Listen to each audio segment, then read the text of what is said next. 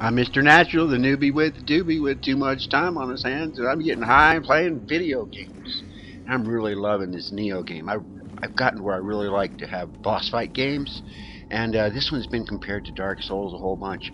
But I see similarities and things that I like from all kinds of different games. I mean, just like The Witcher.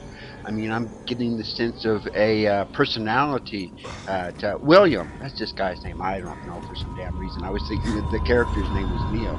I don't know what Nioh means though, or even like the boss name. This is like really the first main boss fight, second boss fight actually. This is the first one in in the uh, first main mission, storyline mission you get.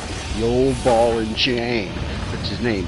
Onryoki and I, I, don't know, he's just like some sort of a demon. Uh, the game does make me want to.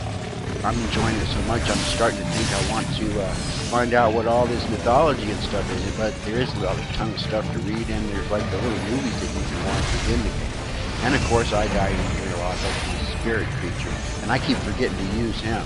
Um, you watch some of the. This is just like a stoner's guide, I guess you would call it, or a regular man's guide to beating this guy, or maybe just my little scrapbook to show that I actually it. Uh, it took me a while. This was from my live stream. I didn't wasn't doing any commentary while I was doing it. I just wanted to capture it because uh, the PlayStation captures, you know, leave like a little watermark on it for some reason. And I've gotten like not uh, the copyright strike was like put on my last video and then I came off of it real quick. Uh, but typically, like any of these, you don't want to take a look at what he's doing there. When you finally get him to the point where uh, he breaks those balls off and starts throwing them, it's easier to dodge him when he's throwing them than when he's smashing them right up your neck and messes up.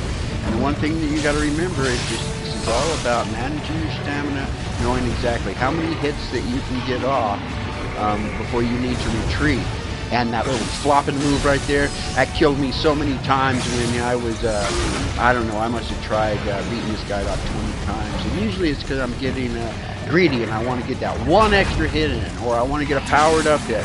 But uh, I do best when I just stick with my uh, uh, two-hit combo. Just the uh, high. I'm using a high stance. Some of the guys say you use a low stance, and you can block through some of this stuff. But if you block through it, you don't have any stamina left to do any damage.